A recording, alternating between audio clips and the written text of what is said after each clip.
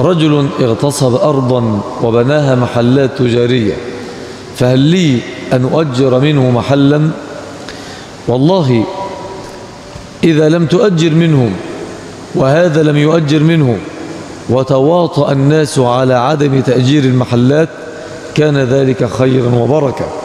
وهذا من باب الأمر بالمعروف والنهي عن المنكر. أما إذا لم تقدر على ذلك لو استطعت أن تؤجر عند غيره كان أولى. إذا ضاق بك الأمر وعجزت إلا أن تؤجر عنده فأجر والإثم عليه لا عليك.